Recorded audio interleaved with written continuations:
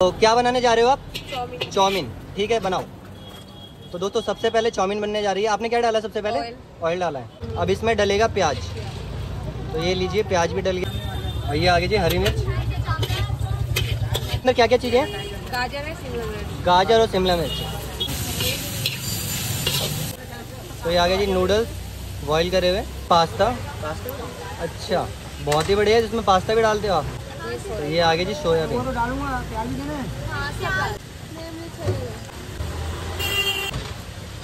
अब ये क्या डाला जा रहा लहसुन का पानी। है ओहो लहसन का पानी। और ये?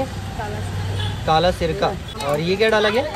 ये वो सिरका है वाइट अच्छा ये वाइट सिरका। ये नमक लाल मिर्च। ये लाल मिर्च। ये मसाला है मतलब सब चीज़ मिक्स है इसमें। आप देख सकते हो।